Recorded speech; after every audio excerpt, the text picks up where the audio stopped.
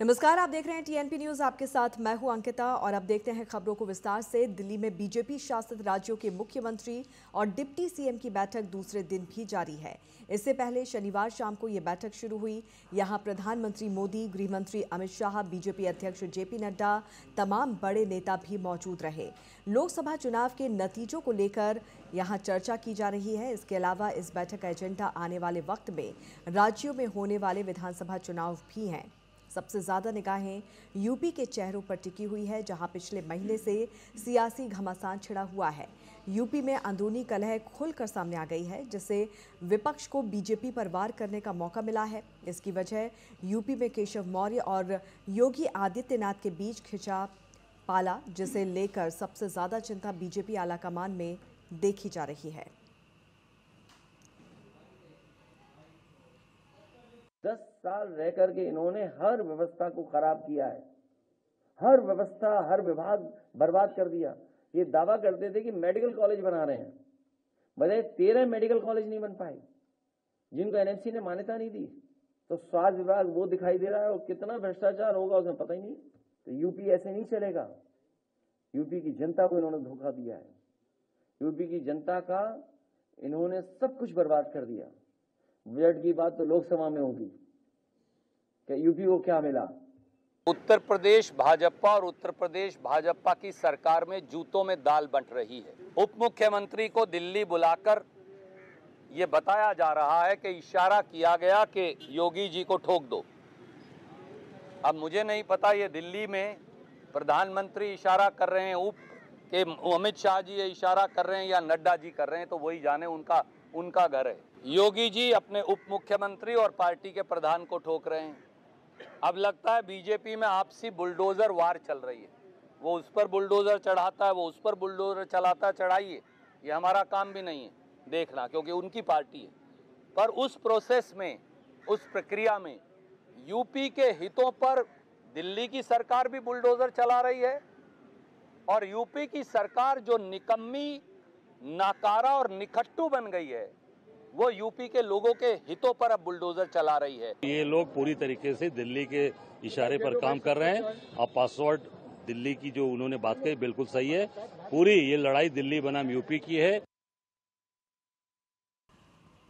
और doctor Anil Singh editor in large इस वक्त हमारे साथ फ़ोन लाइन पर मौजूद हैं। सर जिस तरह से लगातार मुख्यमंत्रियों की बैठक चल रही है और आज बैठक का दूसरा दिन है आ, क्या लगता है आपको पहले दिन में आ, क्या कुछ खास निकल कर आया? सबसे पहले आपसे यही जानना चाहते हैं।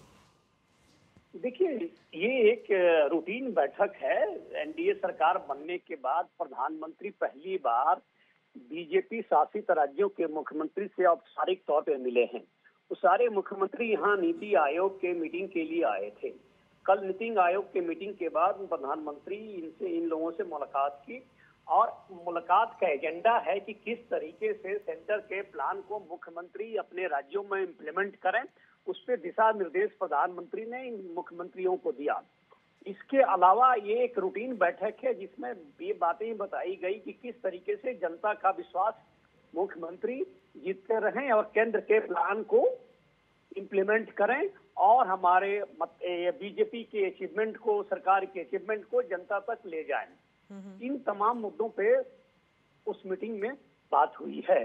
अंकिता बिल्कुल लेकिन साथ ही साथ जिस तरह से हमने देखा है कि इस बैठक में बिहार केरल, तमिलनाडु, कर्नाटक, तेलंगाना, दिल्ली पंजाब, हिमाचल प्रदेश के साथ ही झारखंड के जो मुख्यमंत्री हैं, उन्होंने हिस्सा यहाँ पर नहीं लिया। और जिस तरह से आप यहाँ पर बता रहे हैं, खासतौर से ये जो बैठक है, राज्यों के विकास को किस तरह से आगे बढ़ाया जाए, उसको लेकर यहाँ पर है। साथ ही हमने देखा था सर कि किस तरह से ममता बनर्जी ने भी यहाँ पर अपनी नाराज़गी जताई थी। जब नीति आयोग की बैठक हुई थी, उसके बाद उनका आरोप था कि उनको बोलने नहीं दिया गया। लेकिन लेकिन जिस तरह से सबको एकजुट कर कर आगे बढ़ाने की नीति अपनाते हुए प्रधानमंत्री नरेंद्र मोदी नज़र आ रहे हैं, लेकिन ये टेढ़ी खीर भी साबित होता हुआ नज़र आ रहा है देखिए, अंकिता, ये बात समझने की है कि नीति आयोग में केंद्र अपने पॉलिसी को राज्यों में निर्धारित करने के प्लान को, स्ट्रेटेजी को डिस्कस करता है। उसके अलावा अगर कोई मुख्यमंत्री अपने एजेंडा को लेके आके नीति आयोग में बहस करेगा तो ज़ाहिर है कि कंफ्रंटेशन होगा ही होगा उसको नहीं बोलने दिया जाएगा। नीति आयोग एक ऐसी संस्था है, एक कार्यकारी संस्था है, जिस संस्था के तहत तमाम मुख्यमंत्री आते हैं और केंद्र अपने फैसलों को उन्हें अवगत कराता है कि ये फैसले हैं, ये प्लान है, ये स्ट्रेटजी है। आप अपने राज्य में जाके इनका अनुपालन कीजिए इनको इम्प्लीमेंट कीजिए।